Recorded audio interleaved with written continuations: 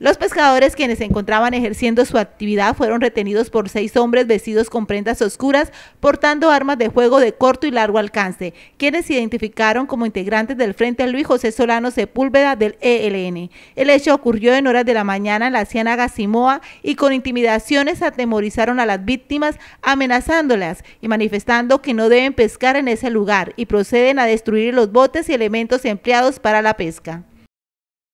Estos hechos sucedieron en la Ciénaga Simoíta, esta jurisdicción del municipio de Morales, Bolívar. El hecho ocurrió en horas de la mañana, cuando un grupo de pescadores, como es costumbre, salieron a ejercer esta actividad con el único propósito de recoger el sustento diario que tiene para sus familias. Eh, seis sujetos vestidos con prendas oscuras, portando armas de fuego de corto y largo alcance, que se identificaron como integrantes del Frente Luis José Solano Sepúlveda del sistema de amenaza persistente del ELN,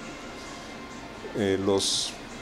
los retiene en forma ilegal Mediante operación conjunta y coordinada con la Fuerza de Tarea Marte y el Batallón de Selva número 48 de la Quinta Brigada, adscrita a la Segunda División, realizaron una reacción oportuna ante la información suministrada por los habitantes de la zona sobre la retención ilegal de 20 pescadores por parte de sujetos pertenecientes al ELN en la vereda Simota, jurisdicción del municipio de Morales. Los sujetos al mando de alias Julián retuvieron de manera ilegal a los 20 pescadores en la zona,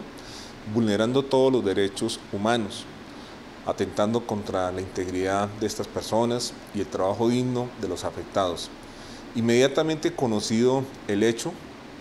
tropas de la Quinta Brigada en coordinación con la Policía Nacional ejecutan sobrevuelos y cierres sobre las vías de acceso a este lugar con el propósito de lograr la captura